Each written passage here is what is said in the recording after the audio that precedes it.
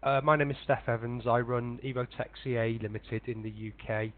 Uh, we are a dedicated FEA-focused consultancy and also work as uh, resellers or elite partners with MSC Software with specific focus on MSC Apex in terms of our consulting work, training, and also um, technical resales of the MSC Apex platform. So to get started today, the new MSC Apex Iberian Lynx, we have a, a dedicated webinar specifically on the shipbuilding and large fabricated structure industry. Uh, you may or may not be familiar with Apex, but I'm going to run you through a number of slides and uh, demonstrations to hopefully highlight some of the advantages that you can have working with MSC Apex. So we'll get started.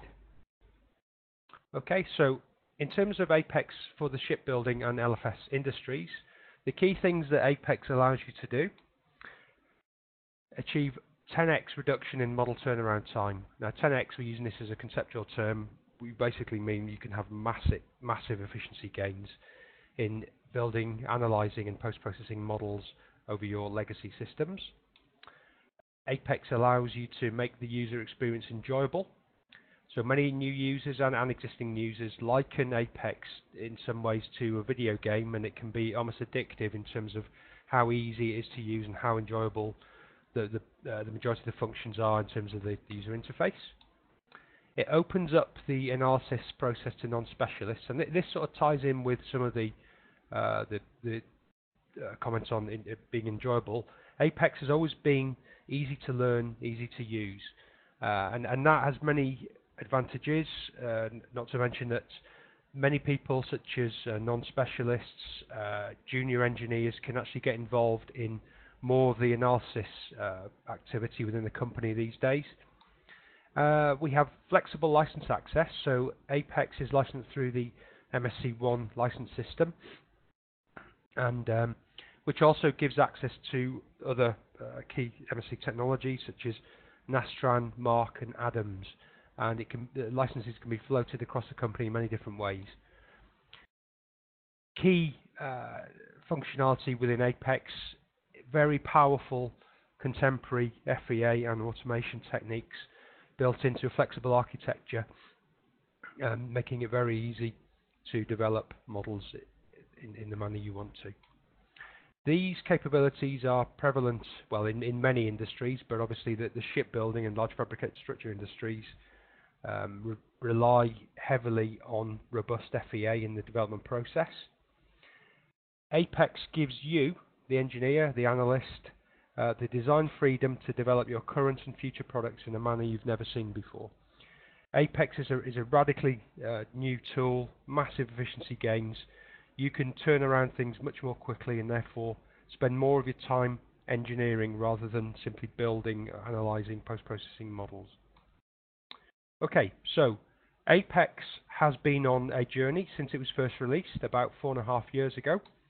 So some of the early releases, I'm just going to run through where, uh, where we started and where we are now. Uh, the, the original release, Arctic Wolf and Black Marlin, uh, they were, again, very easy to use, very easy to learn. They allowed faster model preparation and faster model updates. But primarily they, they were focused as a CAD to mesh type tool and often used in the companion basis uh, for generating uh, partial uh, FEA models which could then be completed in a different tool set where we perhaps didn't have the luxury of a, an efficient CAD to mesh um, tool set. Then we moved into uh, the next phase of development with Apex of uh, additional releases and this is so Apex evolved into uh, from CAD to mesh to CAD to results. Uh, so by in, in, including the Apex structure solvers, which um, will solve linear statics, linear dynamics, uh, linear buckling, um, enables the engineer to, to turn around models much more quickly.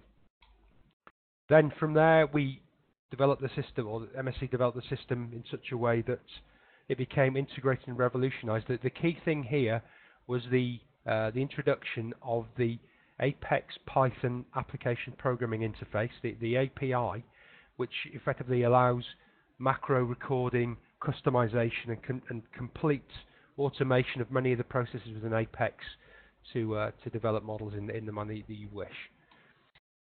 From the from these releases, we, are now seeing a, a, subtle shift or a paradigm shift in the way that Apex is being positioned for, for certain users, and that becomes prevalent with the release we're talking about today, which is Apex Iberian Lynx, which introduces what we call the uh, Apex to Nastran interoper interoperability or a gateway to Nastran. What this means is that we can now rely on Apex to write out Nastran uh, model files, input decks, run Nastran externally, and then to reattach those result files back into the Apex environment to do all our result exploration or post-processing within the Apex environment. And that's been made uh, possible with A Apex Iberian Lynx, the, uh, the latest release, which, which actually came out a couple of weeks ago. So, workflow maturity.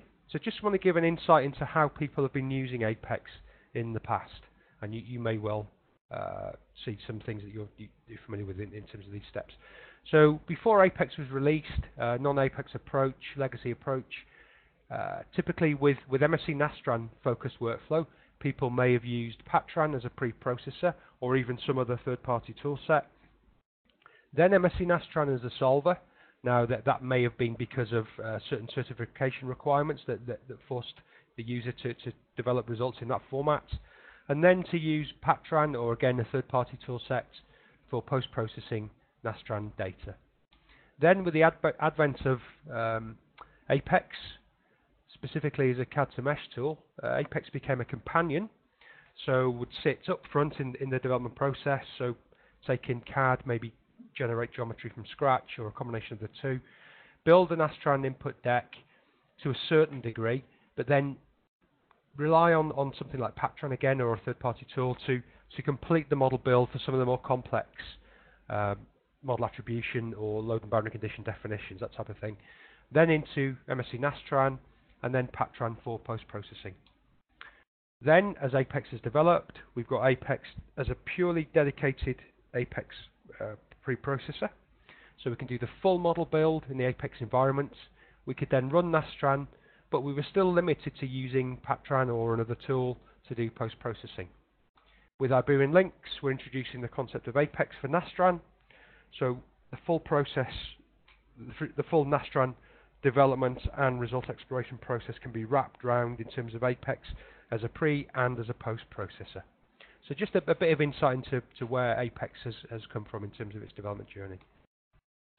In terms of functionality growth, so when Apex was used as a companion tool, so some of the early releases, again uh, pre, uh, preempting the, the, the Patran pre-processing stage, we had some level of Nastran keyword support, both in terms of importing models and also exporting models.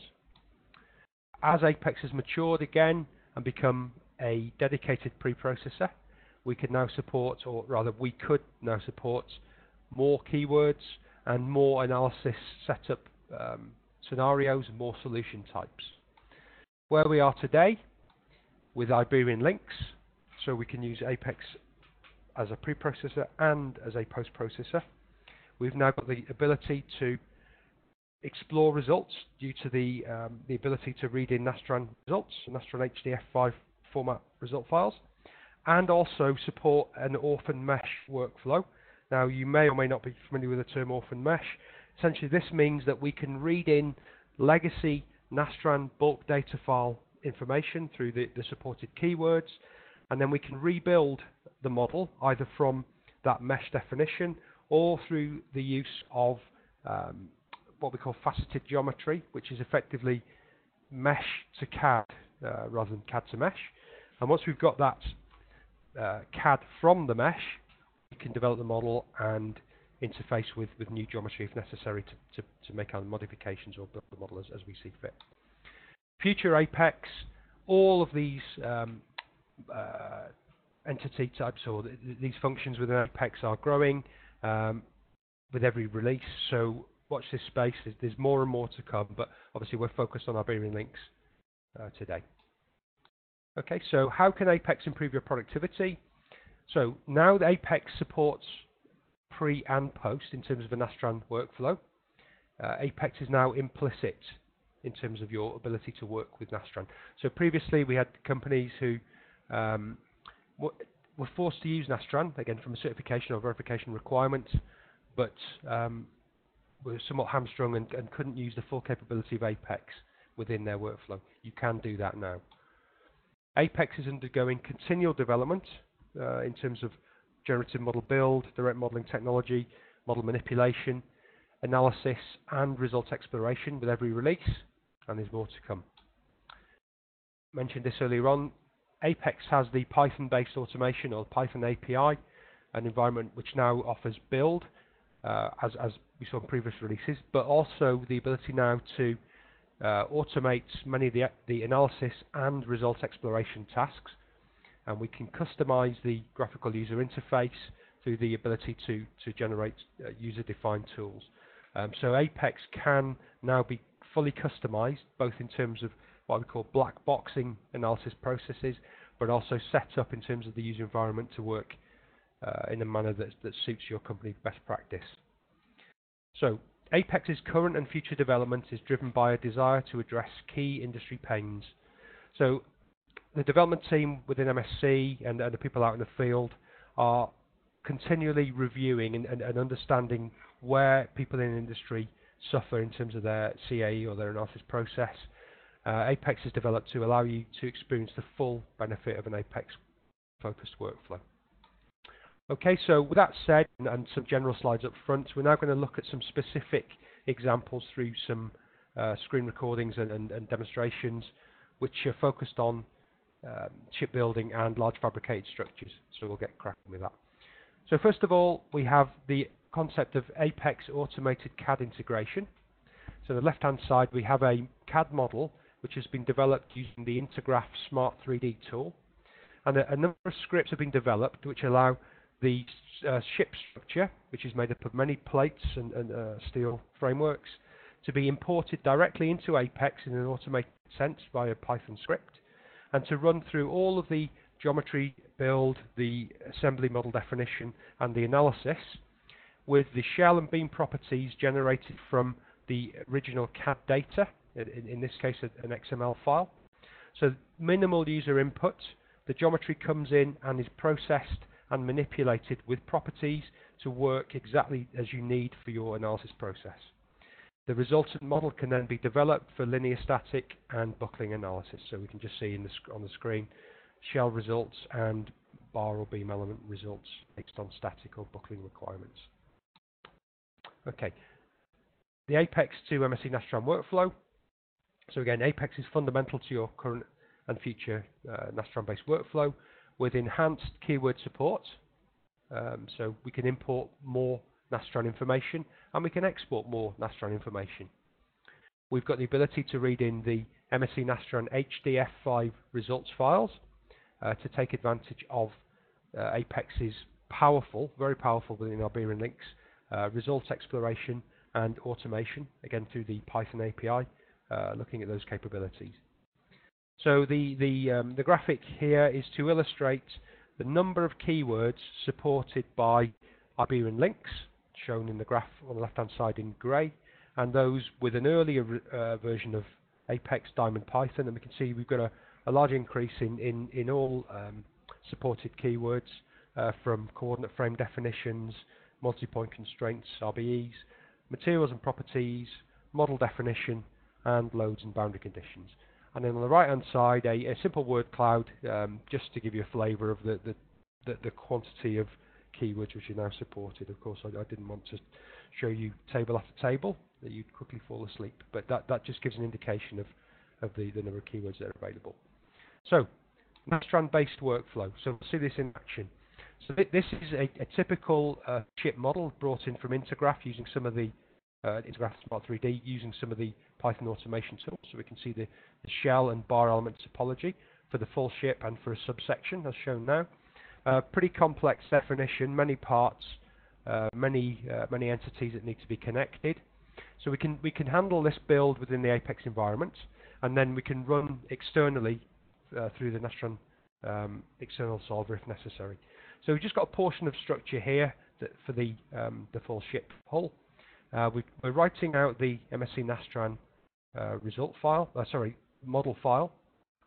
So that, that's the bulk data file that's been written out. And once it's written out, uh, rather we can export, we, we can set the model units. So we can switch here. So if you had a, um, a, uh, a series of English units versus a metric uh, set, you can switch at this level. We can run Nastran externally, uh, either on a remote mach machine or locally, depending if we have an HPC um, requirement if, that, uh, if available. And then we can post-process the HDFF file that's been generated externally and post-process using many of the standard tools that we, have had previously within Apex, uh, specifically looking for result exploration. So just, just looking quickly at this, this example, so we're looking at uh, shell stresses, von Mises in, in, this case, and we can switch, just as an example, to 1D stresses. Um, so we can show that for the, the stiffeners, which make up uh, the bulk of the, um, the, panel definitions, and see those stresses in, in, in two dimensions. Detailed model workflow. So we, have looked at a, a, sort of global model definition of part of a ship hull. Many of the, the direct modeling and generative tools within Apex lend themselves very nicely to, to building detail very quickly and easily. Uh, much of this is built on, again, what we call the orphan mesh workflow. So we could read in a legacy Nastran bulk data file, just, just the pure keywords, no geometry, and then we can manipulate that, that underlying orphan mesh, build the geometry that we need for the, the, the um, residual process, and develop the local detail as required. So in this particular example, we're going to look at a, a, a screen recording shortly, uh, we've broken out a local weld zone uh, developed from the global FEA model. So we've used the concept of the orphan mesh workflow to uh, develop a new uh, meshed um, definition in, in a local region, local detailed region, and included some of the weld um, geometry, in, uh, weld mesh in, in that representation. There are many tools within Apex to connect uh, congruent and dissimilar mesh regions together using edge ties, glue, and discrete ties. And these can all be automated within the Python um, API environment. I'm going to look at that. Uh, this is a very powerful technique to hone the analysis in critical locations. So if you imagine you've got a full ship model, we can't go down to a world level fidelity everywhere. We just wouldn't have the compute resource available. So we can we can often look at that large uh, structure on a global perspective, and then to hotspot any regions of concern uh, based on the, the original model response, and we can zoom in and, and de develop these these local uh, detail models um, and graft them into the, the overall model as required. So we're just going to look at that in this example. So we've read the ship hull Nastran bulk data file back in. There, there's no geometry in this model. We can just hide some of the the, um, the plates covering the internal substructure and we can see we've got a relatively coarse definition. We've broken out um, some of that mesh definition and used the faceted tool um, function within Apex to build a local mesh and include some of the uh, the weld detail. And we're, going to look at this in detail in a moment, but just to give you an overall flavour of how things are working. So we tied, tied the whole thing together using edge ties locally, and then glue the um, the detail into the uh, the larger structure read the Nastran result back in. So we've solved for the whole structure, and we can look at the, the global model response, again similar to what we saw with the, with the previous recording. And we can zoom in and then just look at one discrete region, which is the, the weld uh, the weld zone, as it were. And we can start to understand what the, um, the structure is doing for any downstream weld analysis, potentially. We can hotspot to pull out any areas of, of concern. Okay, so many tools available in Apex, and one thing which is very powerful is the ability to use what we call hybrid modeling. Uh, so where we have very, very large assemblies, and we can use many different element types and idealizations to build a model which which works for us. So detail where we need it, and maybe load path uh, definition where we don't. Key to this is the ability for Apex to respect the the build or the, the imported CAD data uh, to respect, uh, respect the assembly and subassembly and part definition for that uh, that type of CAD data and to, to hold it clearly within the model browser tree which allows us very efficient model generation, query and visibility. Uh, we've got, again, multiple um, element types and idealizations, and we can use that to build a model that, that works for us. So in this case, if we were interested in the, the detailed arm shown as the pink, pink zone, we, we, we've got a high fidelity shell region there, but as we, as we move away, maybe down to the bottom left hand corner, we can see the, the, the mesh starts to increase in, in definition or in fidelity, and we can tie those uh, those different hybrid zones together using some of the, uh, the, the glue and edge tie stuff that I mentioned previously. One thing which is very useful within the Apex environment is the ability to uh, verify part, subassembly and assembly level definition using the Apex structures embedded solver. So what we can do is just look at one zone, solve for that zone, making sure it works uh, correctly on uh, usually on a normal modes basis, just to make sure that everything's tied together, that we've got uh, the correct mesh that we need, that we've got the correct properties, the, the, the the structures tied together as we wish and we can see how that, that would work. There are multiple connection types within the Apex environment. Some of these are new to Iberian Lynx. So we've got uh, the, the ability to glue uh, non-coincident meshes together. We can use discrete ties, which are, for the Nastran users, uh, basically RB2 and RB3 definitions hidden within the Apex environment. And we've also got the ability to create joints, so they may be revolute joints, spherical joints, all that sort of stuff, which, which we can use to tie things together. Ultimately, many of these, or most of these, the majority of these modelling and analysis techniques can offer massive efficiency gains over your uh, standard CA toolset. And one, one thing I'd say here is if you haven't tried Apex, then give it a go, and you, you, I can guarantee you'll be you'll be very pleasantly surprised about how it will build stuff um, and allow you to turn around model and results very, very quickly over your legacy toolset. Okay, so quick run through of a crane model. So we've imported the geometry in the model browser tree on the left hand side. We can see how that geometry has been respected. Just looking at one area in detail, so the, the basket where the operator may be working, um, and just, just using some of the, um, the browser definition or browser manipulation tools to show that we can hone in on a a particular subassembly region, so this, this simple bracket assembly.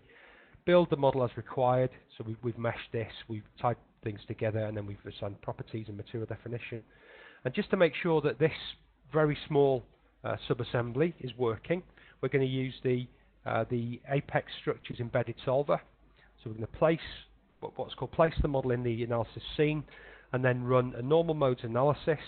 So we've got something called analysis readiness, which looks at the model and tells us whether it will it's run ready.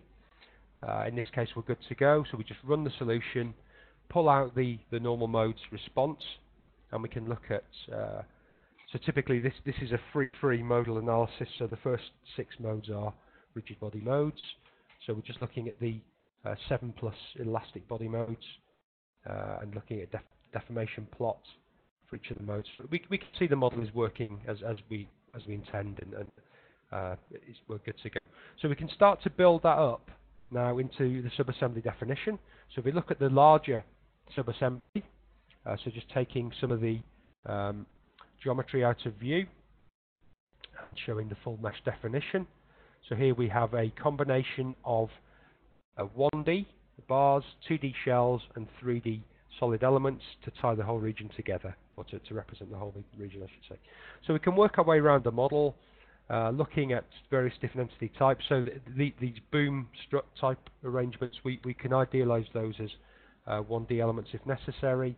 Uh, so if we, if we just show the resultant mesh and take the geometry out of view, so we've got very powerful uh, display controls with an Apex, we can see how the, the structures tie together. So we've got, uh, again, 1D, 2D, 3D elements. We've got a transition from fine to coarse, and we've also got a transition from 2D to a 1D element representation with, with the um, three-dimensional beam section turned on. If we just turn that off, you can see the underlying beam we've got in there. We've actually got some joints in there, which are allowing sliding connection, revolute connection, uh, good graphical display of, of how the entities uh, are represented, uh, so we can orient the model exactly as we want. Uh, we've got uh, glue, shown here where we've got dissimilar meshes or maybe 2D to 3D meshes where we can tie them together. And we can run the analysis pretty quickly once we've done our internal verification and in this case we're looking at the uh, hotspot or the, the, stress distribution for von Mises for some of the 2D shell elements. And you can see the, the peak values shown. And we can then just, just give a flavour of some of the result exploration stuff we can do. We're looking at the 1D stress for a combined axial and bending case. And we can see the, the, stress in, in a sort of equivalent 3D section form. Put the hotspot display back on, and then that, that will guide us to where the uh, the peak loaded or peak stress 1D elements are are found. And again, we've got um, some local bending going on with these interface um, 1D elements. Okay, so talked a bit there about the uh, MSC Nastran workflow, but also about the embedded Apex structures solver. So ju just wanted to, to clarify a couple of things here. So first of all, the Apex Iberian Lynx MSC Nastran workflow supports linear static, normal modes, and linear buckling. Uh, this is an example of how the external MSC Nastran solver can be used in conjunction with the internal uh, Apex structures solver. And this is one example that I, that I uh, put together. You may or may not want to work in this manner, but it, it's there for, for, reference if necessary. So, step one, you would build the model, uh, modify the model within the Apex modeler environment.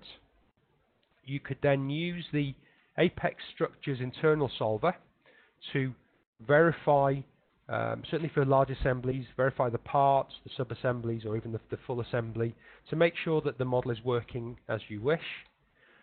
If you have a requirement to run MSC Nastran externally, whether it's for certification or through a, a computing resource, then you can then analyze the fully verified model with Nastran to develop your what we call production level results and then post-process back in the Apex environment using the HDF5 result file um, format. Okay, so some local uh, or some rather uh, detailed enhancements that we're seeing specifically with Iberian Lynx. So we've got a number of geometry enhancements. So first of all, we have introduced now the, the ability to sweep and loft um, within the environment. So just look at a quick example here. This is a, a very simple kayak hull, but we're going to loft a surface through the uh, series of um, curves. Uh, so we're taking pretty much the defaults from the, the surface loft, loft, tool and just picking a series of uh, non-connected non edges or curves. And as we pick them, we can see the, the surface mapping its way through those entities and giving us the ability to build complex 3D shapes or, or complex surfaces from those uh, lofted edges lofted curves. And we can zoom in to show that we've got uh, tangency at the interfaces. We're now going to look at sweeping. So the sweep tool we have within Apex, we just want to generate uh, the, the, curve you see on screen. We're going to sweep that around just to uh, generate a stiffener for the kayak. Uh, so we pick a series of edges uh, for the sweep direction and then a series of surfaces. In this case, this is just one of the options to give us the, the orientation of that surface as it goes around. So we can see the um, a preview of the surface before it's built, and then the middle mouse button to accept, and we've got the full uh, surface set defined. So we've cut the upper face of the kayak uh, with the resultant swept surfaces or swept edges, and we can tie things together uh, later on. We've now got the ability to create geometry from mesh or um, CAD from mesh uh, using the faceted surfaces functionality. And so we've got a, a, thin shell structure here, maybe a bulkhead or something from a, a ship or similar uh, type of construction. So we've just read some Nastran bulk data, data in. We've got some geometry, which we've imported externally, which we want to graft into this mesh. So we're going to delete the elements that we don't want to, to, to reuse. Just hide the geometry for a moment and you can see there's a hole in the in the resultant mesh. And now we're going to use the faceted tool, a faceted surface tool, to uh, pick the geometry and allow Apex to develop uh, flat, curved, singly curved or doubly curved surfaces from that resultant mesh definition. And if you look in the model browser tree, we can delete the underlying mesh, and we can now remesh. Um, the remeshing operation, uh, or the facet surface rather, maintains the underlying shell property that we saw from the imported uh, bulk data file. So we're just doing some local seeding to transition the mesh, and we can see the shell thicknesses are respected, or shell properties are respected. So if we wanted to graft in this uh, uh, solid mesh region, just uh, mesh th that, that piece of geometry as, as uh, standard in Apex, and then glue the entities together across that interface. So again, gluing is a very powerful technique within the Apex environment. Some meshing enhancements. So we've got a number of hex meshing developments. And if we look at this simple piece of geometry, uh, we can break the, um, the geometry up into mappable zones uh, using the um, standard Apex tools. Uh, but sometimes the, the 2.5D mesher doesn't give us the element quality that we perhaps would desire. So we can we can look at surface meshing just to seed the face of the surface for resultant hex meshing. Um, can see much better definition. Now when we uh, surface seed this additional zone, the fillet turns yellow because we've got some kind of mismatch across the interface. So we, we've got the ability now to diagnose uh, hex meshability or hex mesh issues, and we can see there's a mismatch in the in the seed and the edges, so we can fix that that seed and now the the uh, the full solid in its entirety.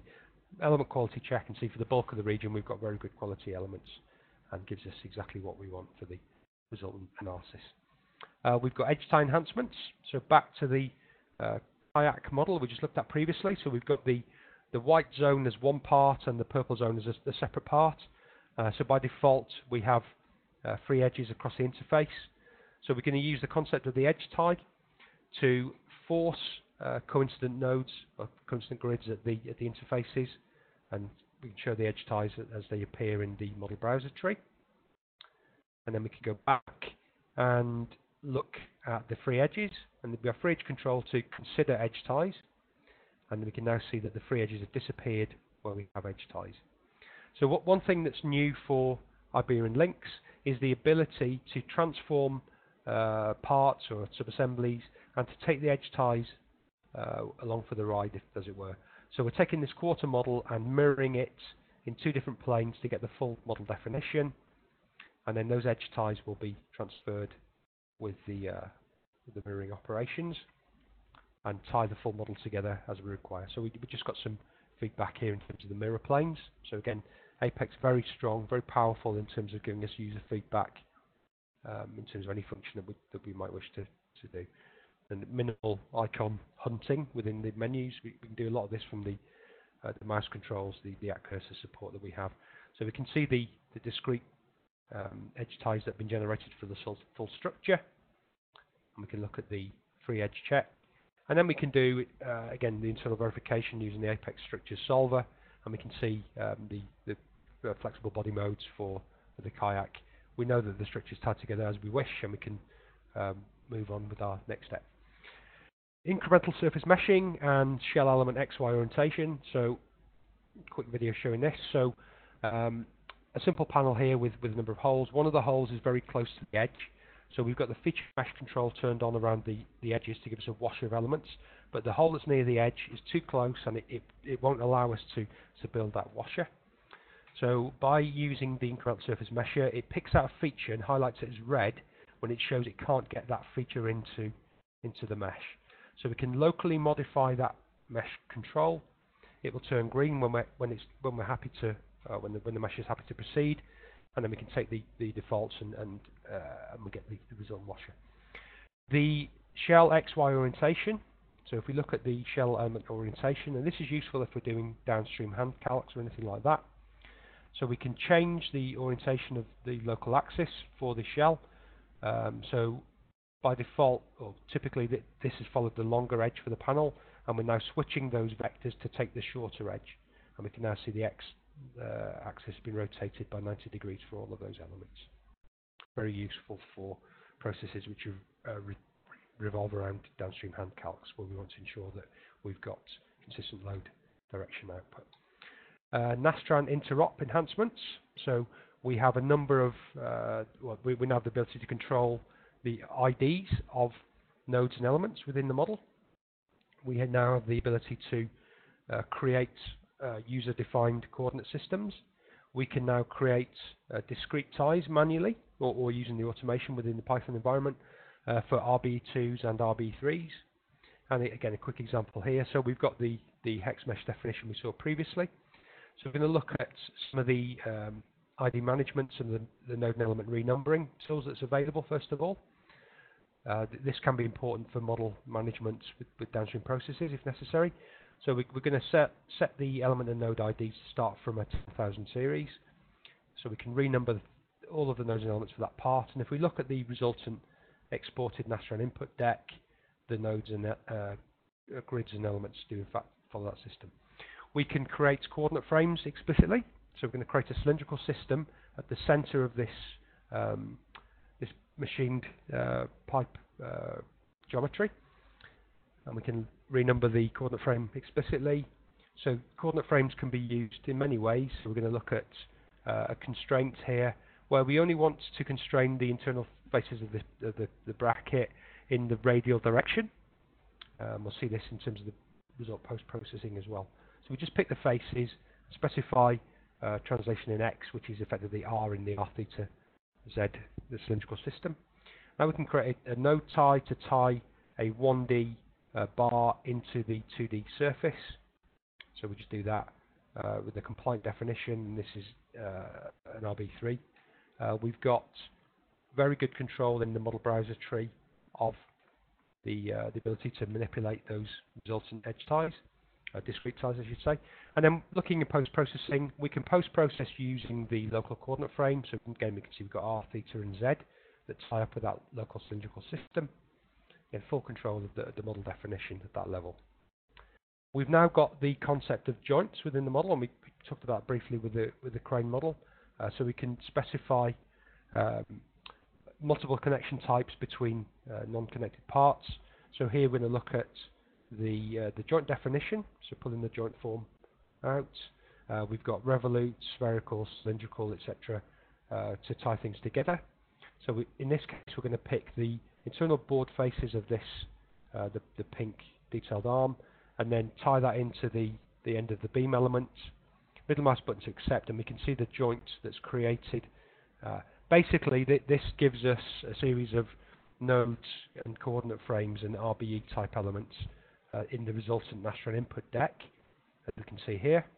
So all of that information we would have had to build uh, click by click in legacy tools, but we can now do it in one hit with, with Apex and we can see the, the model response gives us the, the joint definition that we, that we want. Uh, the ability to result explore or to, um, to look at post-process output from uh, the Nastran external run. So we've got the ability to read in HDF5 files. We can look at 0D and 1D probing to look at discrete points such as nodes and elements, or we could even look at a, look at a path. So we could draw a curve along a shell face and look at a, a graph of how that um, result criteria varies along that path. We've got now finally the ability to write results out to external um, text file data. So the, the separated variable CSV file format is now fully supported by Apex.